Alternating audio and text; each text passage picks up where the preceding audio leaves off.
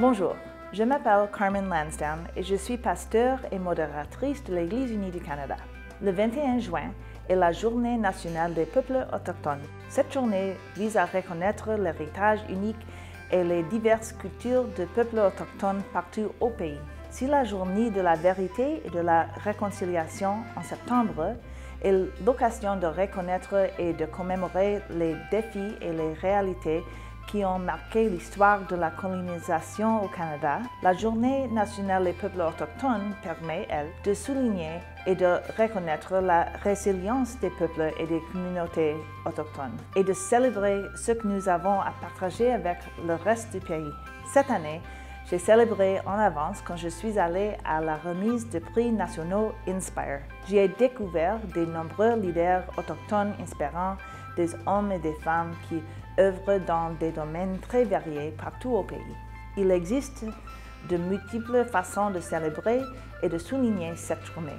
Vous pouvez assister à une célébration ou à un événement culturel local, en famille avec des amis et amis ou avec des collègues. Prendre la journée pour explorer l'héritage autochtone du lieu où vous vivez ou de l'endroit où vous travaillez. Apprendre à vous présenter dans la langue ou les langues autochtones parlées dans le lieu où vous vivez ou l'endroit où vous travaillez.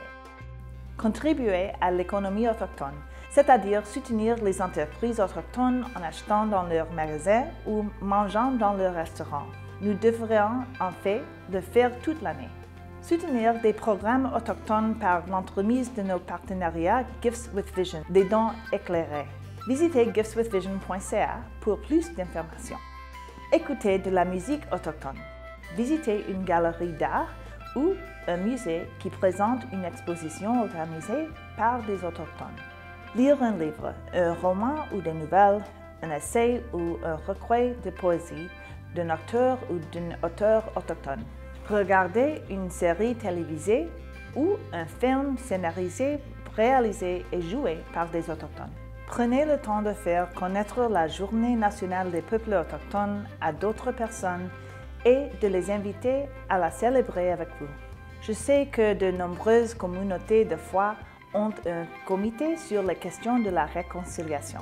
C'est le lieu idéal pour créer une communauté et discuter des moyens de se familiariser avec la culture autochtone à l'occasion de la Journée nationale des peuples autochtones.